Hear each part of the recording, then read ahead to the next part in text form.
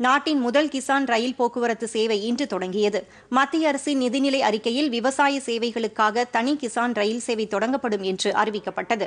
இதன்படி முதல் கிசான் ரயில் போக்குவரத்து மகாராஷ்டிரா மாநிலம் தேவ்லாலியிலிருந்து பீகார் மாநிலம் தானாபூருக்கு இன்று காலை தொடங்கியது. ரயில்வே அமைச்சர் பியூஷ் கோயல் மற்றும் வேளாண் அமைச்சர் நரேந்திர சிங் தோமர் ஆகியோர் காணொலி காட்சி மூலம் கூட்டாக இந்த ரயில் சேவையை தொடங்கி வைத்தனா்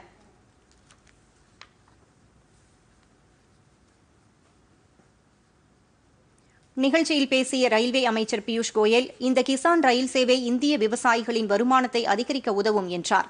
இந்திய பொருளாதாரத்தின் வளர்ச்சி எந்திரமாக இந்திய ரயில்வே திகழ்கிறது என பிரதமர் நரேந்திர மோடி தெரிவித்திருப்பதை சுட்டிக்காட்டிய அவர் கொரோனா பெருந்தொற்று காரணமாக விவசாயிகள் பல்வேறு பிரச்சினைகளை சந்தித்து வரும் போதிலும் உணவுப் பொருள் விநியோகத்தில் எந்தவித பாதிப்பும் ஏற்படாதவாறு ரயில்வே துறை உறுதி செய்ததாகவும் கூறினார். விவசாயிகளின் நலனுக்காக ரயில்வே துறை பல்வேறு நடவடிக்கைகளை மேற்கொண்டு வருவதாக கூறிய பியூஷ் கோயல் விவசாயிகளுக்கு தலைவணங்குவதாகவும் தெரிவித்தார்.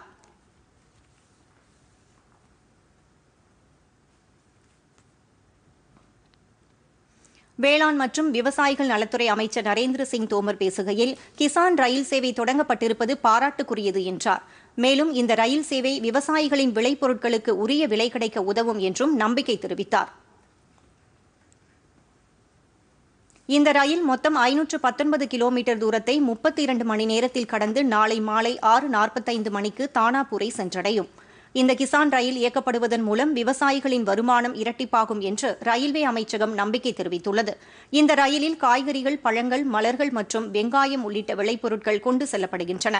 காலதாமதத்தால் விவசாய பொருட்கள் அழுகுவதை தடுக்கும் நோக்கத்திலும் தடையற்ற விநியோக சங்கிலியை ஏற்படுத்தும் நோக்கத்திலும் இந்த கிசான் ரயில் போக்குவரத்து தொடங்கப்பட்டிருப்பது குறிப்பிடத்தக்கது. பொதிகை செய்திகளை யூடியூபில் தமிழ் நியூஸ் தூர்தர்ஷன் என்ற சேனலிலும் முகநூலில் டிடி பொதிகை நியூஸ் என்ற பக்கத்திலும் ட்விட்டரில் டிடி நியூஸ் சென்னை என்ற பக்கத்திலும் இன்ஸ்டாகிராமில் டிடி பொதிகை நியூஸ் என்ற பக்கத்திலும் காணலாம். மேலும் உங்கள் கருத்துக்களை Podhigai DD news at Gmail dot com என்ற மின்னஞ்சலில் தெரிவிக்கலாம்.